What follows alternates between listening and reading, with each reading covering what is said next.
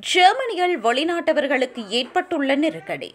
German நாட்டில் வெளிநாட்டவர்களுக்கு எதிரான கருத்துக்கள் பரவலாக முன்வைக்கப்பட்டு வருகின்றன. ஜெர்மனியில் வெளிநாட்டவர்களின் எண்ணிக்கை அதிகரித்து செல்கின்ற நிலையில் தற்பொழுது வெளிநாட்டவர்களுக்கு எதிரான பல கருத்துக்கள் பல தீவிரவாத வலதுசாரி கட்சி மற்றும் வலதுசாரி கட்சிகளினால் முன்வைக்கப்பட்டுள்ளது. இந்த நிலையில் ஜெர்மனியின் முன்னாள் ஜனாதிபதி ஹக் அவர்கள் புதிய ஒரு தகவலை வெளியிட்டுள்ளார். அதாவது ஜெர்மன் நாட்டுக்குள் வருகின்ற எண்ணிக்கையை அரசாங்கமானது கட்டுப்படுத்த வேண்டும் என்ற அறைகூவலை விடுத்துள்ளார்.